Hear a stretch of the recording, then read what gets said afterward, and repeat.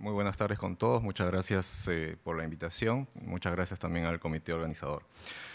Eh, varias cosas ya se han comentado, pero quisiera de todas maneras recalcar algo que para nosotros es sumamente importante, pues recordar que el cáncer cervical en el mundo, como ya se dijo, representa una de las primeras causas de eh, cáncer y una de las primeras causas de mortalidad.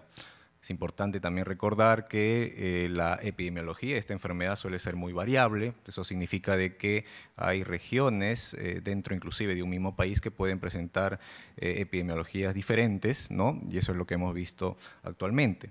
Debemos recordar también de que la incidencia suele ser mucho más importante en los países subdesarrollados, tanto así que puede llegar a ser hasta 5 6 o 7 veces más de lo que se ve en los países de eh, desarrollo más alto, obviamente enfocados en estos temas de falta de prevención primaria y secundaria.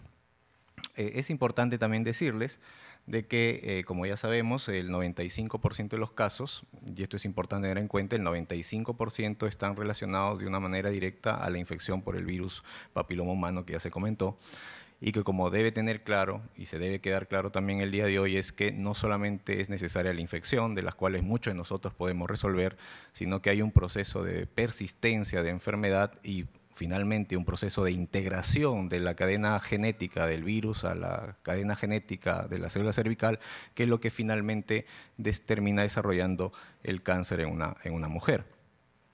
También sabemos de que aunque el cáncer cervical precoz puede tratarse con cirugía o radiación, hoy en día lastimosamente un cáncer cervical metastásico pues tiene un pronóstico sumamente sombrío y los eh, programas de tratamiento que tenemos disponibles pues lastimosamente han resultado siendo muy infructuosos.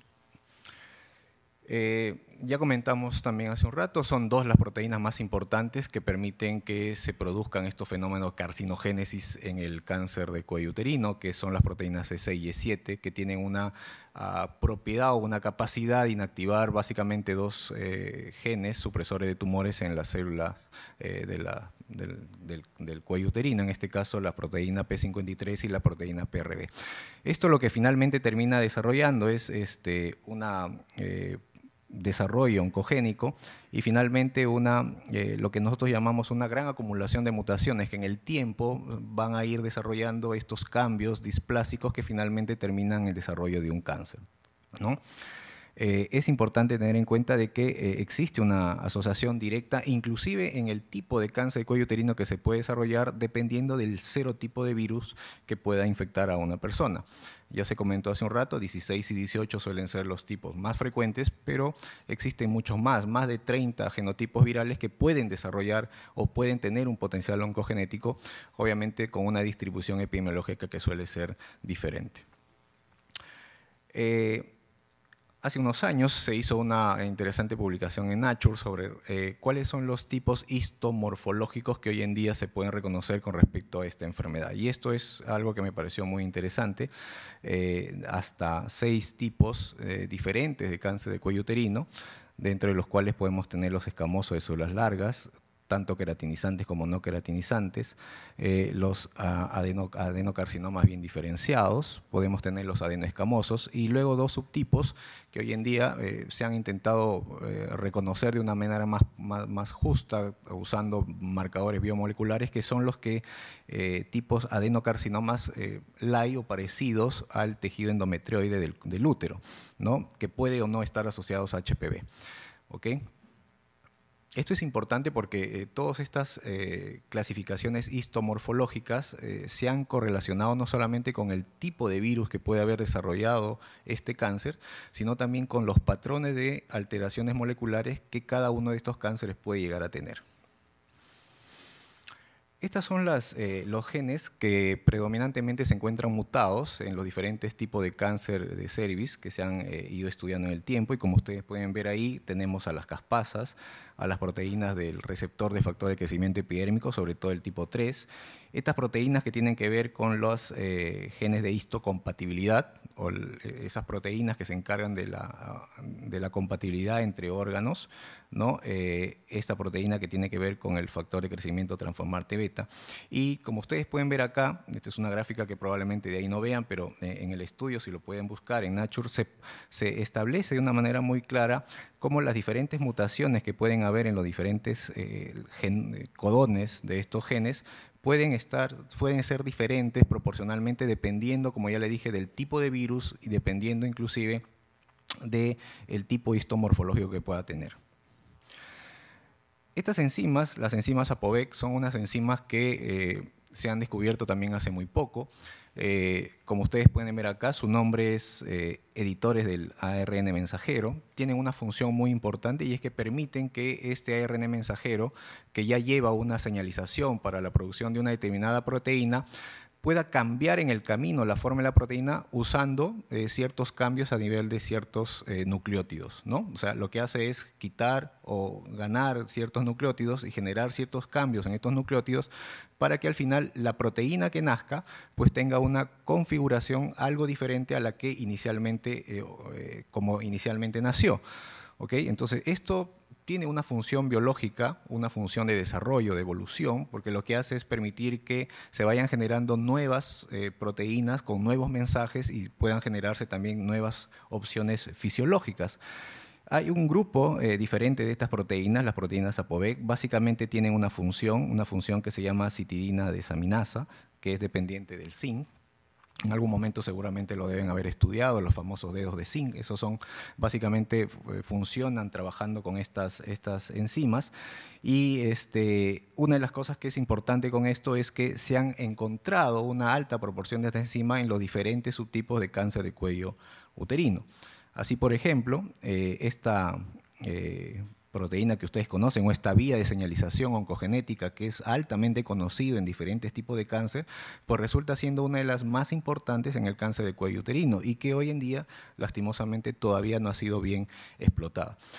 Dos cosas importantes a tener en cuenta con la vía del P3K. Lo primero es que su proporción, igualmente como ya se dijo anteriormente, es variable dependiendo del eh, tipo histomorfológico del cáncer, es variable del tipo de gen del virus eh, que se haya detectado y también puede ser variable si estamos ante un tipo adenocarcinoma o un tipo escamoso. Y el segundo detalle que se ha encontrado con la vía del P3K y sus mutaciones es que muchas de estas están asociadas justamente a estas eh, enzimas ApoVec. ¿no? Acá está, este es un gráfico que más o menos resalta o trata de resumir la importancia que suelen tener estas enzimas en el desarrollo oncogenético del cáncer de cuello uterino. Y como ustedes pueden ver, eh, mientras más enzimas, más enzimas APOVEC tenemos o tiene la paciente con cáncer de cuello uterino, una mayor carga mutacional va a expresar.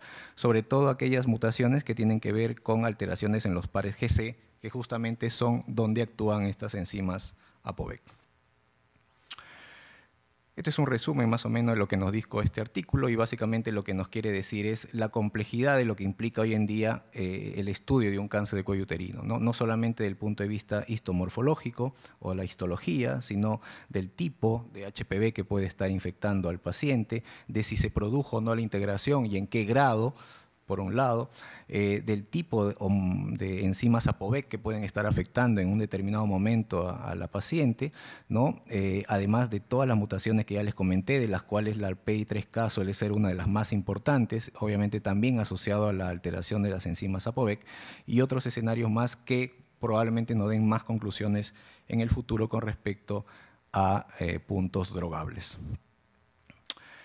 Otras alteraciones que se pueden ver, aparte de las eh, específicas de la vía del PIDER-K, son las que estamos viendo acá, ¿no? Eh, la vía del RTK, de la vía maquinasas, o otras vías eh, que tengan que ver con el control de la apoptosis. Igualmente observamos cómo proporcionalmente también podrían llegar a ser diferentes las incidencias de estas alteraciones moleculares dependiendo del tipo histomorfológico que encontremos en el cáncer de cervix. La angiogénesis en el cáncer cervical. Creo que la historia del cáncer del cuello uterino pues, ha tenido una, visión sobre el punto de la angiogénesis. Como ustedes ya saben, y seguramente ah, se va a comentar más adelante, eh, esta integración que puede producir la proteína E7 del HPV pues hace o genera una alteración en una serie de, proteínas llamadas desacetilasas que al final generan un proceso angiogénico que es de alguna manera la base de la carcinogénesis en el cáncer de cuello uterino. Esta historia o esta historia de angiogénesis asociada al cáncer de cuello uterino ha hecho de que la visión del desarrollo eh, farmacológico pues se base justamente en utilizar medicamentos antiangiogénicos para intentar controlar el cáncer de cuello uterino.